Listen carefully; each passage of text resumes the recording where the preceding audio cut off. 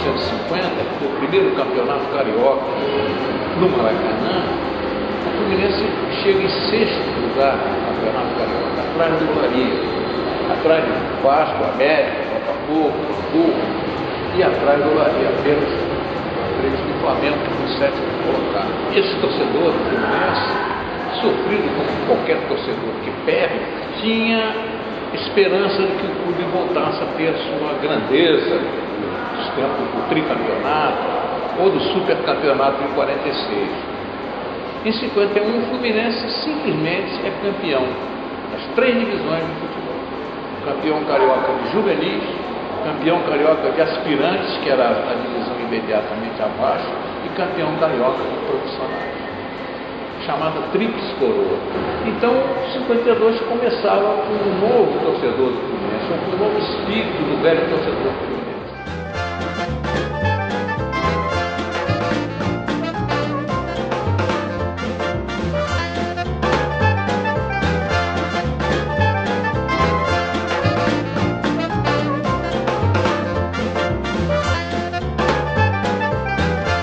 Taça Rio era para ser disputado de dois em dois anos,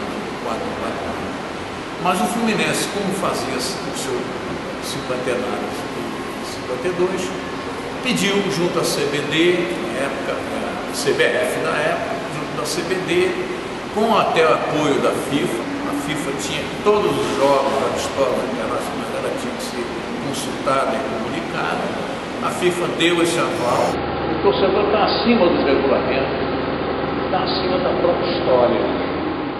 Quer dizer, se o torcedor quer reivindicar o título mundial de 52, deve reivindicar. Eu acho que a FIFA nem sempre tem razão, ou muito poucas vezes tem razão.